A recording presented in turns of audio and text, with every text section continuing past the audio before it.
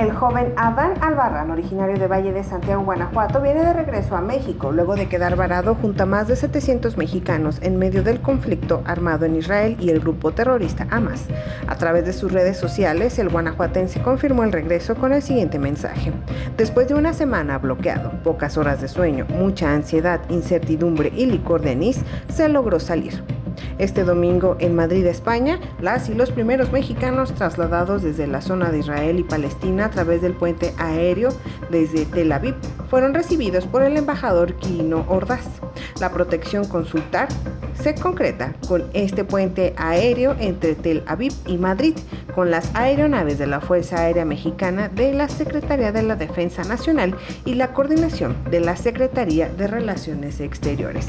Cabe mencionar que Adán fue estudiante del programa educativo de Ingeniería en Diseño Textil y Moda de la Universidad Tecnológica del Suroeste de Guanajuato. En 2016 obtuvo beca para realizar estancia de estudios en Portugal, en donde realizó un proyecto académico enfocado al diseño de moda y tecnología textil en el Centro Tecnológico de la Industria Textil y del Vestido de Portugal. Fue el primer alumno de América Latina en realizar su estadía en este centro tecnológico con imágenes de Alejandro Díaz, en Endira González, reportera, Mega Noticias.